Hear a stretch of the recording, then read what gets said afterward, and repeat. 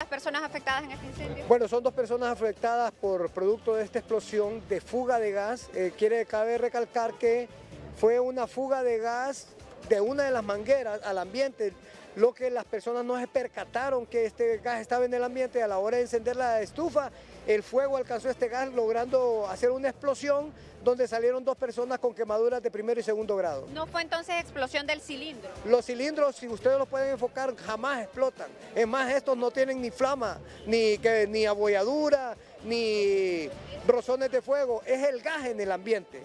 Por eso es que le llamamos a la cordura a revisar sus mangueras, que no hayan fisuras, que limpien bien las mangueras de grasa por lo menos cada tres meses en sus viviendas y es un negocio para que este gas no, no logre fugarse porque los cilindros nunca explotan, lo que explotan es la fuga de gas en el ambiente. Perfecto, dos personas entonces con quemaduras de primer y segundo grado. Dos personas con quemaduras, una del sexo femenino y otra del masculino con quemaduras de primero y segundo grado. ¿Usted mencionaba una tercera persona afectada? Esa, cuando nosotros llegamos a la escena, ya no estaba en la escena, dice que fue trasladada en un vehículo particular hacia un centro asistencial. Muchísimas gracias. Bueno, entonces tres personas fueron las afectadas. Vemos en este momento se retiran las ambulancias ya, los están trasladando. Salimos de la Cinta María, ¿sí?